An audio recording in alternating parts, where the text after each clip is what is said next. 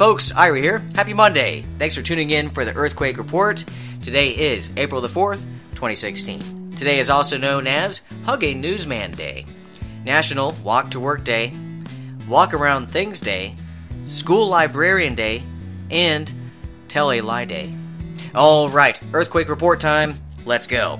As of 8:30 p.m. Eastern Time, we have experienced 205 earthquakes for the day, the most intense being a 5.3 that once again rattled Port Olry, Vanuatu.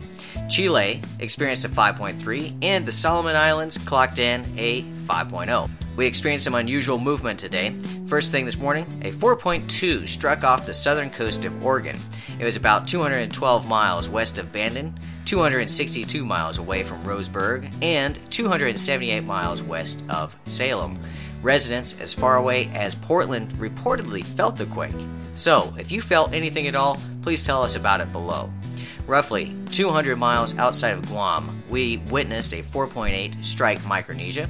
We also registered a 4.8 that struck within the Indian Ocean at the Amsterdam Island. What is interesting about this is New Amsterdam is a volcanic island that is partially active. It last erupted in 1792. That's interesting, alright. Earthquakes in this area aren't rare exactly, but they aren't exactly common either. In light of recent volcanic activity around the globe, I think we'll keep our eyes peeled for further movement in this area. If we zoom north, we see that Nepal registered a 4.2. Indonesia experienced three earthquakes today a 4.6, a 4.3, and a 4.2. Lambasa, Fiji, and Tonga both were shaken by a 4.9, and Vanuatu clocked in 4, the average magnitude being a 5.0. Hawaii has also continued to see movement. In fact, 13 earthquakes have struck the region today. The majority, 10 to be exact, had an epicenter near the volcano, the strongest there being a 2.2. Heading around the Ring of Fire, past the Bering Sea, we will notice that Alaska has been somewhat active today. Chignik Lake took the brunt of today's earthquakes, with four in total striking the area, all of which were fairly substantial.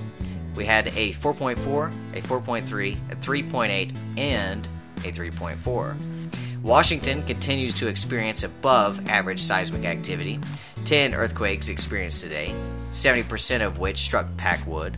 The remaining earthquakes struck Quincy, which was the strongest in the Evergreen State today, at 1.7, a 0.9 that struck Sudden Valley, and a 0.4 in Amboy. Oregon experienced four thus far. Outside of the 4.2 we previously mentioned, we see that Baker City clocked in at 2.1 and Lakeview with a 1.4 and a 1.3. California has clocked in 72, the strongest of which struck Yucca Valley. This was a 2.1. The majority of the earthquakes fell right along the San Andreas fault line in the San Jacinto fault zone. A rather large swarm struck the creeping section of the San Andreas, and the second swarm struck the Anza section, also known as the Clark Fault, of the San Jacinto Fault Zone. Nevada experienced 28 earthquakes today, the largest being a 1.4 in Hawthorne. Utah clocked in 2, Enterprise with a 1.3, and Santa Clara with a 0.6. Oklahoma racked in 3, the average magnitude being a 2.6. Perry, Cherokee, and Cushing all being rattled. And finally, Caldwell, Kansas registered a 2.0. And that is it for the earthquake report. If you experienced an earthquake today, or if you'd like to chat, please post below. We'd like to hear from you. Make certain to like and subscribe, share if you feel inclined. Also, if you like the social media thing, you can link to us via the standard allotted social sites in the description. We'll end this report with a video feed from our favorite star. Have a great night, guys.